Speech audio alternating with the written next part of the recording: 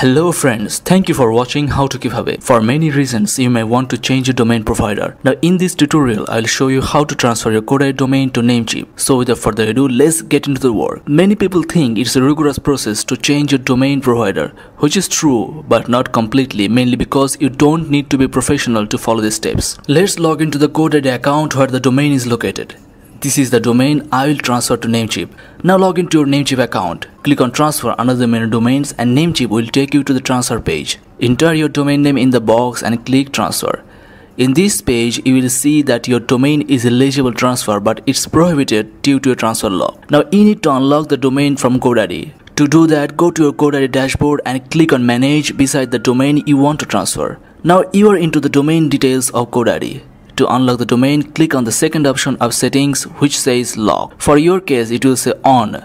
So you need to click on manage to select off. But as I already unlocked the domain in my case, it's saying off. Another very important thing you need from this page is the authorization code. Without this code, Namecheap won't be authorized to initiate the transfer. So when you click on email my code, GoDaddy will send a mail with the authorization code to your admin mail address in GoDaddy. Now go back to Namecheap and add the domain to your card. Click on view card and apply a promo code which I always use to transfer domain to Namecheap. To me, if anyone really wants to transfer the domain to another registrar, I feel Namecheap is the best option to go simply because only for about 9 bucks you're getting extension for 1 year and free whois WhoisGuard for 1 year, which is a great deal if you ask me.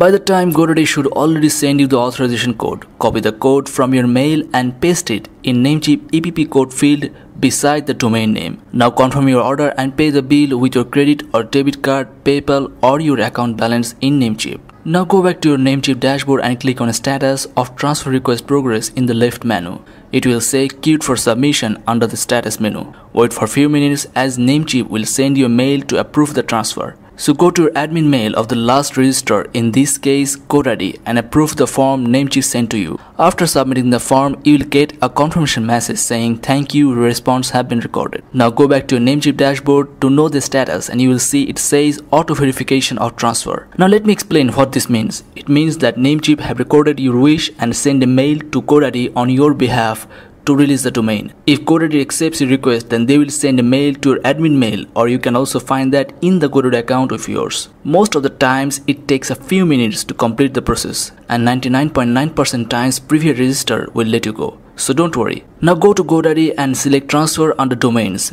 Click on pending transfer out on the left menu and there you should find your domain. Accept the transfer and you are done. Now check your mail and refresh the inbox few times and you should get your confirmation mail from GoDaddy there and that mail should say that your domain name has been transferred to eNom, which is Namecheap in our case. This is how easily you can transfer a domain from GoDaddy to Namecheap. How to keep away posting new videos every week and more videos are coming in next few days. So if you like the video, subscribe our channel for more and share our videos with your friends and family. Thank you.